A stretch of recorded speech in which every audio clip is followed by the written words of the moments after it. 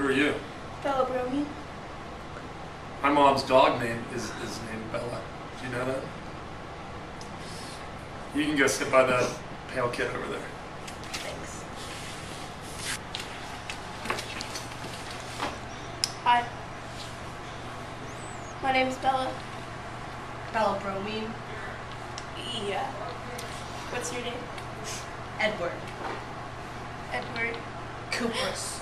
Okay, class. Today we're going to learn about nomenclature, a term referring to the naming of compounds, coming from the Latin word nomen, meaning name. White coma, this is going out to you. Learning about monatomic anions today and how to name them. So, like my name, bromine, it's a monatomic anion, right? Correct. Do you know how to name them though? No. What you do is you drop the end of the element's name and replace it with an IDE suffix. So, well, my name would then become bromide? Correct. Do you know how to name monatomic cations, Bella? Oh, I do not. Well, if there's only one possible charge, you use Roman numerals or suffixes to indicate the charge. But if there's more than one charge possible, you just read the name. Cuprous, you're so stupid. This is how you name monatomic cations. If there's only one possible charge, just read the name. But if there's more than one charge possible, Roman numerals or suffixes are used to indicate the charge. Wow, Jacob, you're so smart. Thanks, Bella. So I would be copper too?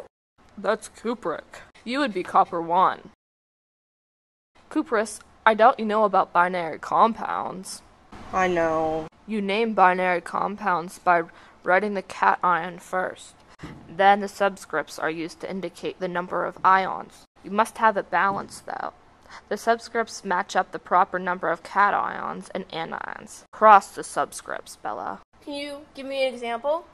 Bella, if we were together, according to the binary compound naming rule, we would make Cuprous bromide. CUBR without any subscripts? Ew. Hmm, Jacob phosphorus. What would we make? Phosphorus tribromide. Hmm, covalent bond. PBR3.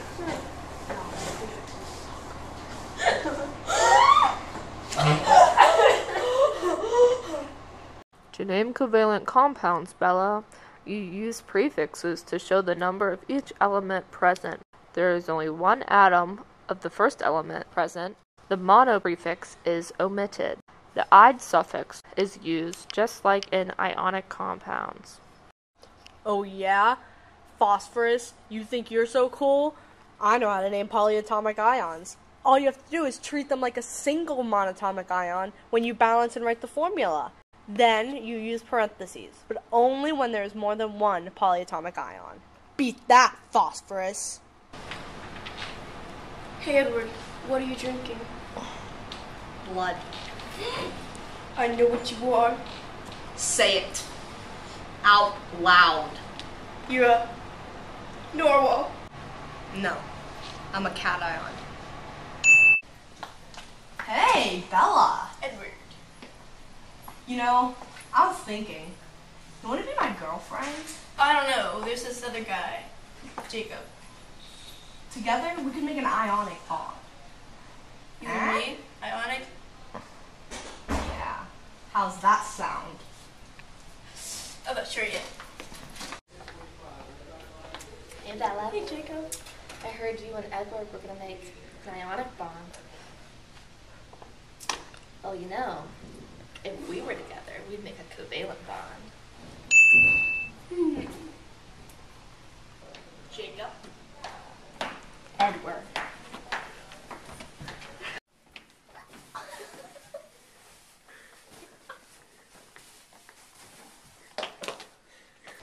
Hey, Bella. How's it going? Who are you? I'm an acid. Carbonic acid. Hey, boys. Do you know how to name an acid? No. Well, if the acid contains oxygen, you add the prefix hydro and the suffix ic acid to the basic element name. But if it doesn't contain oxygen, it ends in ate and you add ic acid suffix. Oh, so like you ate something icky. Exactly. If it doesn't contain oxygen, it ends in ite. You add the suffix us acid. Zombies always win. always win.